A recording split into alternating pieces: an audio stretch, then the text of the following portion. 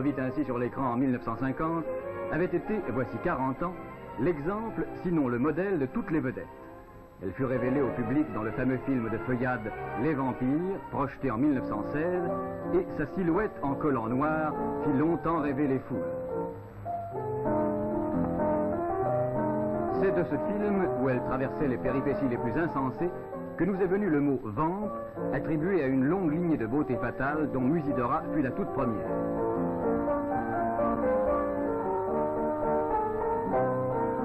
La figure de Diana Monti de Judex devait consacrer à la fois sa renommée et son talent.